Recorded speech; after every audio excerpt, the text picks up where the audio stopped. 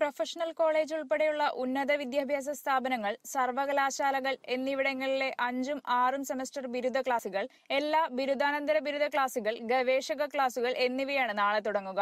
രാവിലെ എട്ടര മുതൽ വൈകിട്ട് അഞ്ചു വരെയാണ് ക്ലാസിന്റെ സമയം. ഓൺലൈൻ ക്ലാസുകൾ കൊണ്ട് പരിഹരിക്കാൻ സാധിക്കാത്ത ലാബ് ഉൾപ്പെടെയുള്ള പ്രാക്ടിക്കൽ ക്ലാസുകൾക്കാണ് റെഗുലർ ക്ലാസുകളിൽ ഊന്നൽ നൽകുക. സെമസ്റ്റർ അടിസ്ഥാനത്തിൽ അമ്പത് ശതമാനം ഹാജരോടെ റൊട്ടേഷൻ അടിസ്ഥാനത്തിലാണ് പ്രവർത്തനം. ഒരു വിദ്യാർത്ഥിക്ക് പരമാവധി അഞ്ചു മണിക്കൂറായിരിക്കും അധ്യയനം. മാസ്ക് സാനിറ്റൈസർ സാമൂഹിക അകലം എന്നിവ നിർബന്ധമായും പാലിച്ചുകൊണ്ടായിരിക്കും ക്ലാസുകൾ ആരംഭിക്കുക. ഹോസ്റ്റൽ മെസ്സുകളും പ്രവർത്തിക്കും. പത്ത് ദിവസത്തിന് ശേഷം ക്രമീകരണങ്ങൾ വിലയിരുത്തി ആവശ്യമെങ്കിൽ മാറ്റം വരുത്തുമെന്നും അധികൃതർ പറയുന്നു. കോളേജ് തുറക്കേണ്ടതുമായി ബന്ധപ്പെട്ട ക്രമീകരണങ്ങൾ ഏർപ്പെടുത്താൻ പ്രിൻസിപ്പൽ അധ്യാപകർ അനധ്യാപകർ എന്നിവർ ഡിസംബർ ഇരുപത്തിയെട്ട് മുതൽ കോളേജുകളിൽ ഹാജരായി. മറ്റ് സെമസ്റ്ററുകളുടെ ക്ലാസുകൾ തുറക്കുന്നതിനെക്കുറിച്ച് നിർദ്ദേശങ്ങൾ ഇതുവരെ ഉണ്ടായിട്ടില്ല.